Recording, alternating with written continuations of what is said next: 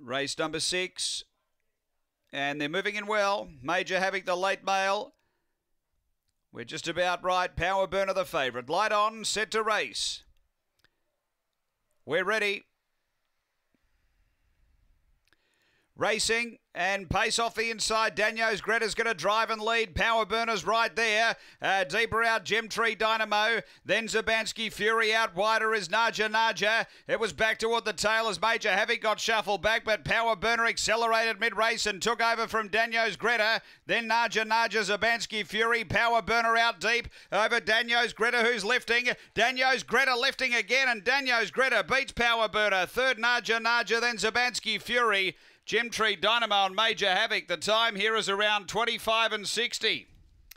After the running of race number uh, six on the program, and uh, two good here.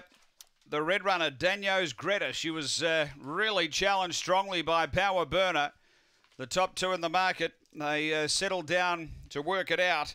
And it ended up being Daniels Greta kicking for Lauren Harris to win. Number one. Four second power burner for Murray Kiley. And third going to eight Naja Naja uh, for Ben Rawling. So it's one four eight two after race number six here at Murray Bridge.